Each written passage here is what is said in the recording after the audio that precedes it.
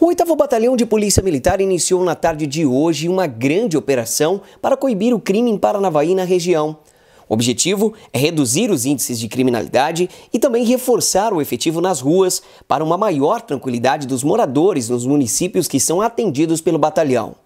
De acordo com informações do 8 Batalhão de Polícia Militar, mais de 50 policiais estarão envolvidos nesta operação.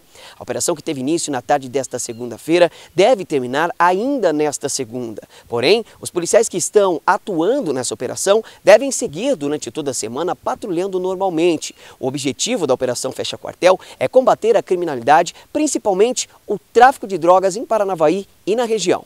Exatamente. Então, a Polícia Militar ela busca sempre a redução uh, dos índices de criminalidade né, em todo o estado e aqui o 8 Batalhão não é diferente.